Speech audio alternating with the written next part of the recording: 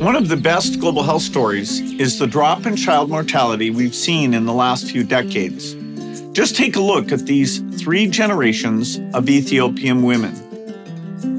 Almaz lives in Hawassa, Ethiopia. እናቴ ቤት ነው የወለደችኝ። ግን ቤት ሄዳ አታውቅም እናታችን። እኔ ያለሁበት አካባቢ የተወለድኩበት አካባቢ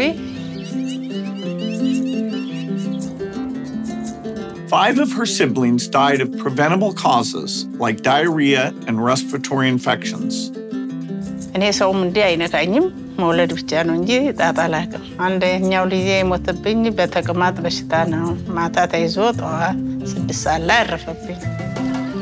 Though Almaz was not educated beyond third grade, all of her living children finished primary school.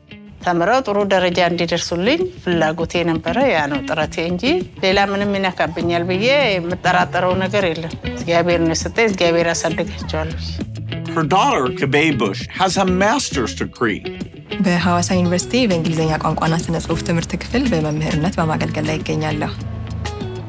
አራቱንም ልጆቼን ሆስፒታል ነው የወለድኩት። አራት ልጆች አሉኝ፣ ሁለት ሴቶች፣ ሁለት ወንዶች።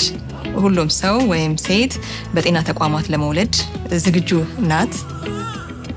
One of Kabay Bush's children is Yeshanat, who is 16 years old. ወደፊት ትምህርቴን ከጨረስኩኝ በኋላ ሕክምና ነው ማጥናት የምፈልገው።